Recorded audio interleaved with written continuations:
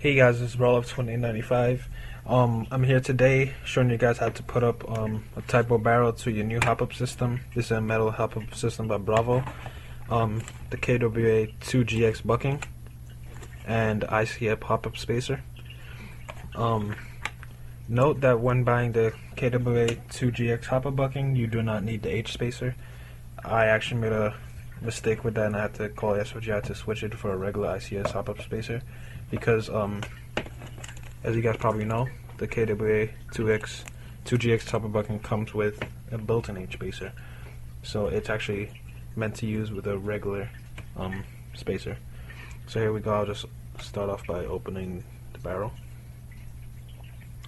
Um, I will make a video of how to put this inside my gun when I get my gun back. It's actually in um, Godfather Airsoft right now for repairs. Um, you guys should check them out. They're really good. Um, I live like 40 minutes away from the walking store, so I actually go over there. I don't have to use the website. So, so nub. Alright, here's the barrel.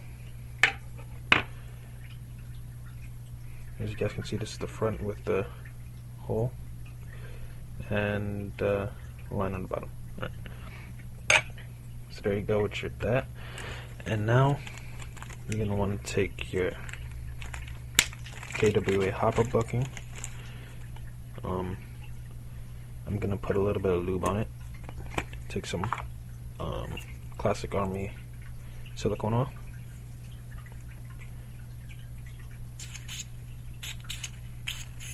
Spray a little bit in there so it can fit into this barrel no problem. Alright, to, to put this on, you're gonna want to you see the little groove right there? I don't know if you guys can see it, but it has a groove there, and you line it up with the groove on the barrel, and you just slide it on. Very simple, self-explanatory process. As you guys can see, I did not put it on right. Alright, there we go. So it's on black on black. I don't know if you guys can really see it. And as I push on the sorry guys my camera isn't focusing right. Alright whatever. I'll show you guys later. So that's step one. Step two is get everything out of the way because this does have small parts and I don't think you guys want to lose these kind of things. So place your barrel.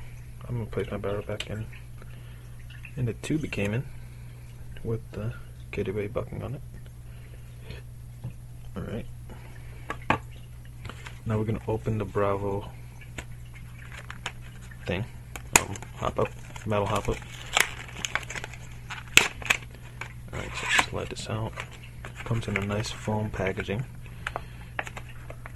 Um,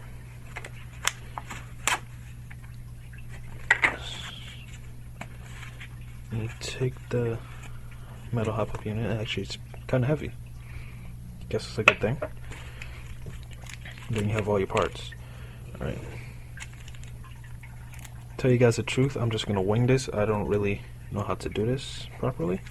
I watched a couple videos, but let's see if I remember. Alright.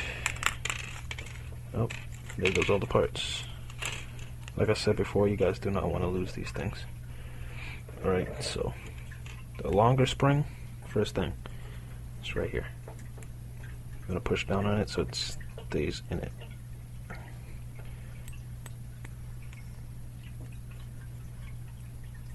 Right. And guys, I have five minutes of this, so I'm actually going to cut the video off at like a minute or so and then just continue it from exactly where I left off. Hey guys, I'm back. And after failing multiple times at doing this, I decided to go watch Airsoft GI's video how to put um, a hop-up unit together.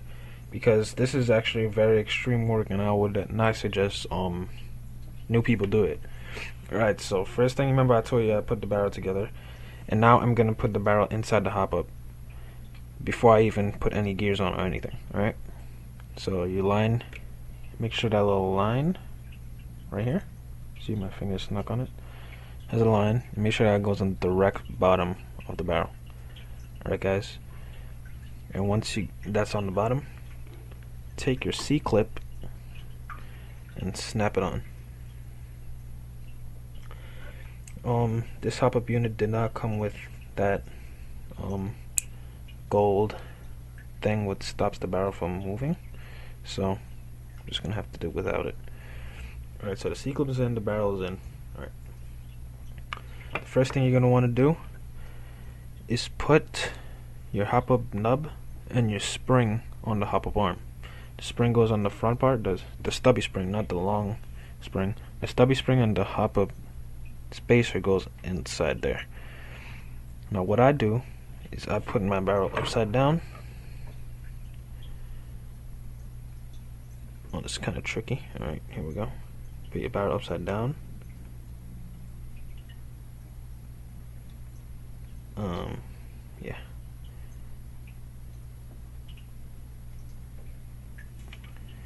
As you guys see, the hop-up spacer just fell out. Make sure you don't lose that hop-up spacer because that's where your hop-up is. So, you lose that, you're pretty much screwed.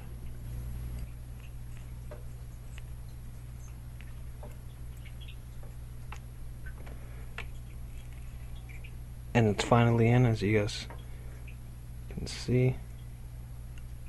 The hop-up on the top. Alright, once that's in, you're going to want to take your retention spring, clip them in and put it in. Um, try to line up your arm. There you go. Now that is in. Okay, finally. That was actually pretty stressful. Alright, once that's in, you're going to want to take your gear that looks like this Alright. And put it inside the hop up arm. Inside the little hole. Right there.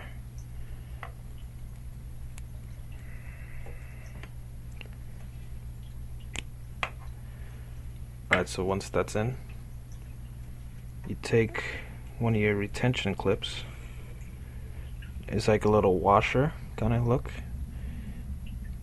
And I'll snap it on there.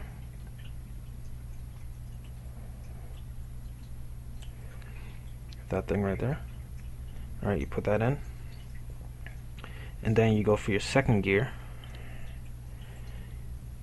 Just like just like that. And as you guys can see these gears does they do turn.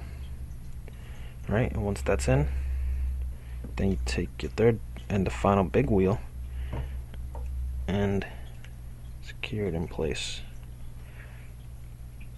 Make sure that all the gears turn. Yes, they do on mine. This gear is actually very stiff and actually hurts my fingers. But then you put the screw in.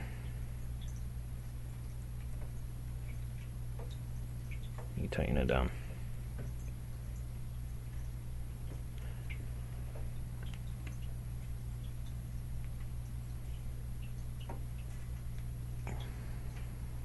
Actually tighten down with this a screwdriver later, but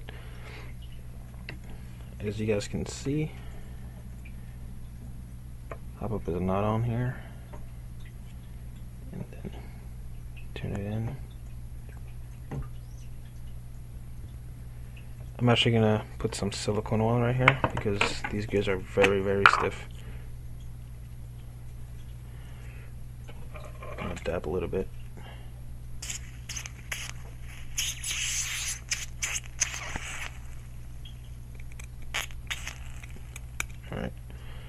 Good enough. I should make the gears move a little bit more freely. Yes, it did. So, um, yep, as you guys can see, that's on the hop up. And um, the other retention clips go, hold on. one goes oh, right on the middle gear, the middle. Um, if I can fit this, that will be swell.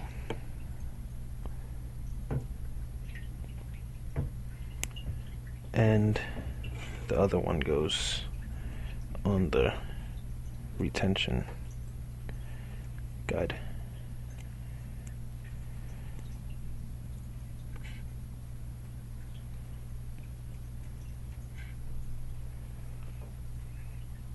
You guys gonna have to use your fingernails and everything to get this in, but once it's in, it's no problem.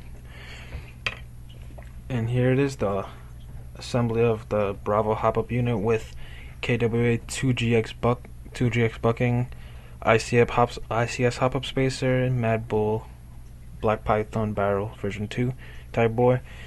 And this will give you guys extreme accuracy. When I get my gun back, I'll actually show you guys a test of how accurate it is. So see you guys later. Be sure to comment, rate, subscribe. Have a good one, guys.